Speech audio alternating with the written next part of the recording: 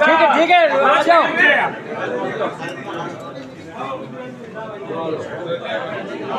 आदरणीय जिल्हाध्यक्ष पधारे।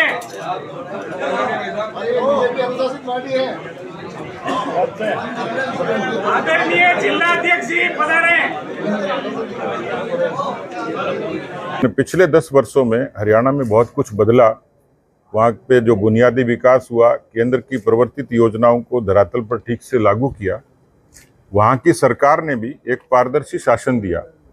इसलिए लोगों की जो भारतीय जनता पार्टी के प्रति अनुराग था, वो प्रकट हुआ तीसरी बार, क्योंकि हरियाणा वो प्रदेश था जिसमें लोग ये शर्त लगाते थे कि कर्नाटक में सरकार बन सकती है, राजस्थान में बन सकती है, मध्य प्रदेश में बन सकती है, लेकिन हरियाणा में सरकार नहीं बन सकती। हमने एक बार बनाई, दो बार बनाई, और तीन बार के बारे में जो आपका सवाल था कि लोगों को बड़ा असमंजस, बड़ा चमत्कार सा लगा, ताजुब हुआ, लेकिन मुझे लगता है चमत्कार जैसी कोई बात नहीं थी।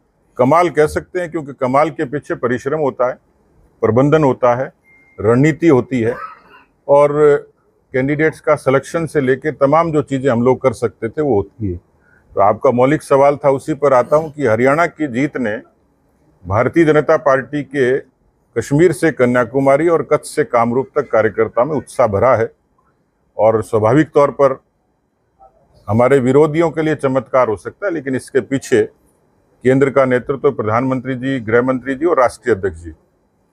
उनके नीचे एक प्रभारियों की समर्पित टीम थी, जिनकी एक वेवलेंथ थी। हमने उनकी रणनीति को धरातल पर उतारा और हरियाणा की जनता ने, भारतीय जनता पार्टी के विचार को स्वीकारा, वहाँ के कार्यकर्ताओं ने परिश्रम किया। तो कुल मिलाकर ये जो जीत थी, वो कार्यकर्ताओं के परिश्रम की थी और जनमानस के समर्थन की जीत थी। निश्चित रूप से वहाँ बहुत चीज़ें ऐसी थी और मैं जो समझ पाया कि चुनाव इंजीनियरिंग है और मैनेजमेंट है। और चुनाव की विधा में हर दिन कोई नई चीज़ जुड़ती है। किसी समय सोशल मीडिया बड़ी ताकत बनकर आया। मीडिया की अपनी भूमिका है। जो कैंपेन है उसकी भूमिका है।